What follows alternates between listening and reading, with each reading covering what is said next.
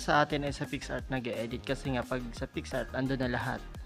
Ah, pagtanggal ng background, paglalagay ng text, paglalagay ng design. At ang isa pang kagandahan, meron siyang size na pang YouTube. So, kukuha tayo ng picture, natatanggalan natin ng background. Yung PixArt nga pala, di ba, kapag dindownload natin, may bayad. Ngayon, ginamitan ko siya ng Lucky Patcher, kaya naging free siya.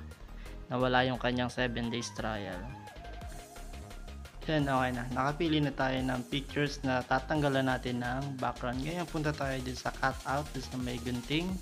Pinutin lang natin yung person para automatic na tanggal yung background. Pero pag na, pero mapapansin nyo na hindi lahat ng background ay natatanggal. Pag zoom natin makikita mo. Or kahit hindi natin siya i-zoom, makikita nyo ayan. oh. Hindi tanggal, hindi na side or kailangan pa natin siyang imano-mano.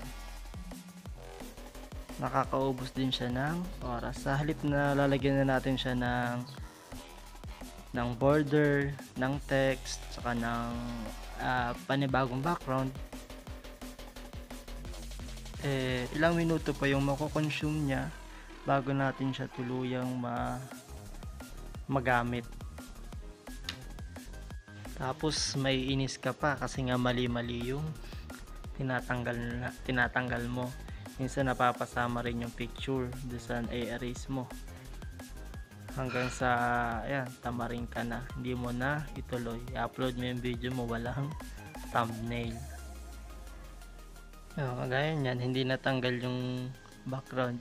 So ngayon, ang ginawa ko, nag-search ako sa Google. Accidental lang yan kasi nga tinabad na ako sa PixArt ngayon. Tinype ko yung remove background. Remove background. And then, pindutin nyo lang yung 3 lines sa taas at mag-sign up kayo. Pagkatapos na, pindutin nyo ulit yung 3 dots at piliin nyo yung add to home screen para hindi nyo na siya isi-search sa susunod. Pipindutin nyo lang kapag nasa home screen na siya. Okay, pagka-pindot natin sa kanya, pindutin natin yung upload image at pumili tayo ng picture na tatanggalan natin ng background. So, yung kanina, yung tinanggal natin ng background sa Pixar. So, yan. Okay, di ba? Napakabilis.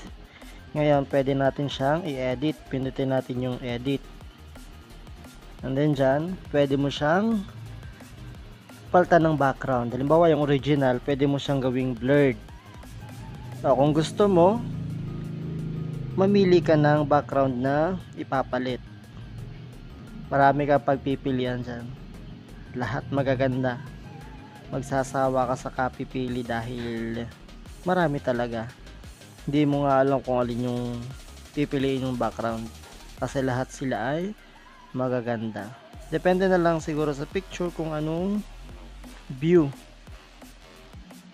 or position nung picture. And then pagkatapos mong mamili, pindutin mo lang yung nasa taas sa kanan bahagi ng screen para ma-download siya. Yung nasa baba nga pala ano yun, color lang siya. Kung gusto mo naman color yung background. Okay, pagkatapos punta tayo dun sa ating gallery. At tingnan natin kung anong naging itsura na. So, ayan, mapapansin mo na talagang parang nandun ka sa lugar. Ngayon kung ayaw mo naman na walang background, babalik lang tayo, X nyo lang. Tapos, pindutin, natin yung download.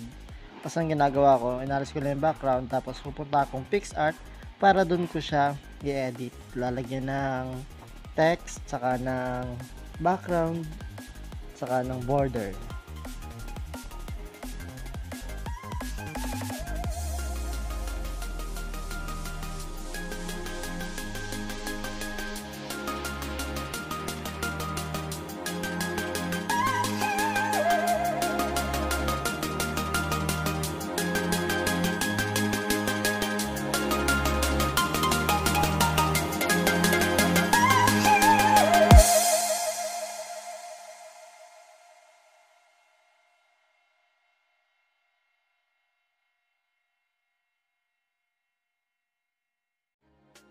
Okay, ngayon mag-edit pa tayo ng isa pang picture. Ngayon, ang i-edit naman natin or tatanggalan natin ng background, yung maramihan. Ngayon, titingnan natin kung kaya ng PixArt ang maramihan na tao.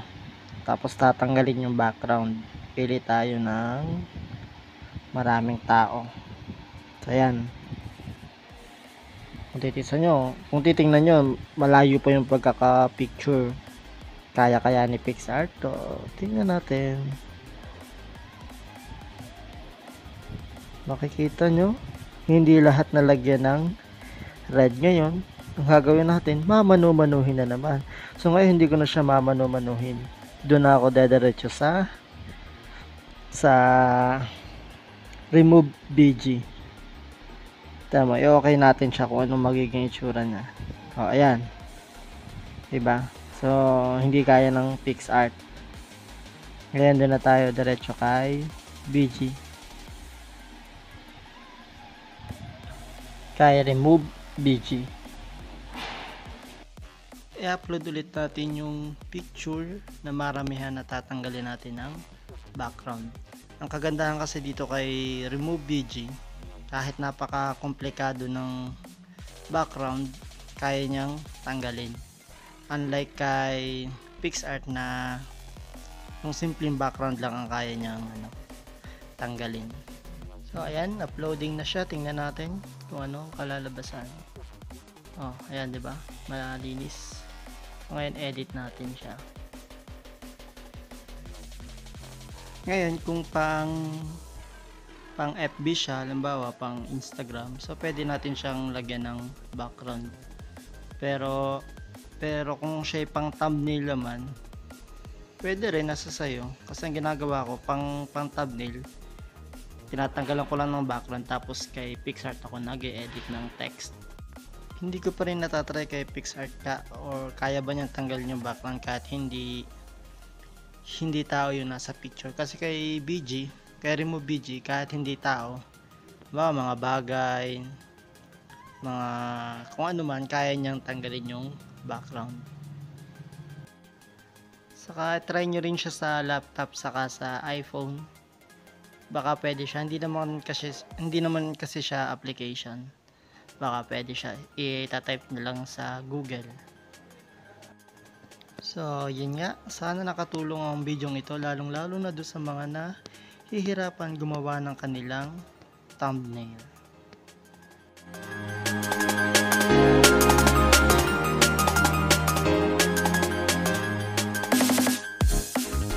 At kung bago ka pa lang sa aking channel, so don't forget to like, comment, and subscribe. At kung gusto mo pang maging updated sa mga susunod kong videos, so just click the notification bell. Thank you.